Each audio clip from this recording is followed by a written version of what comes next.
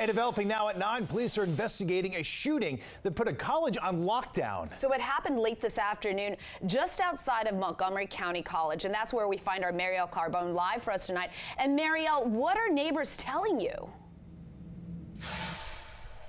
Well, Susan, they're pretty shaken up tonight. They say they never expected something like this to happen in the neighborhood. Just to give you an idea, there are a lot of families uh, that live in these apartments behind me, a lot of kids out playing, and of course you have those college students nearby, so having a shooting happen right here, pretty scary for these neighbors. Now, police say that the shooting had happened just around 4.30 this afternoon. That's when police responded to College Parkway here and found an adult man uh, shot in the stomach. Now, he was taken to the hospital and is in critical condition tonight.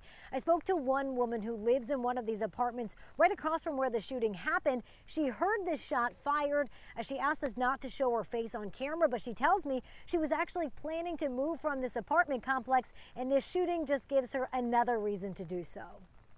If I wasn't, this would be like me telling my husband, we need to find someplace new. Yeah. I was a lot more shaken up earlier. Mm-hmm. I'm kind of calm, calming down a little bit, but I'm an anxious person, and mm-hmm. so I was just, I'm just not thrilled. And as we mentioned, Montgomery uh, College, it did go into lockdown because of this shooting uh, that was lifted shortly after the initial lockdown was called. And we're told that uh, as of right now, there's no known connection to anything uh, with the college campus.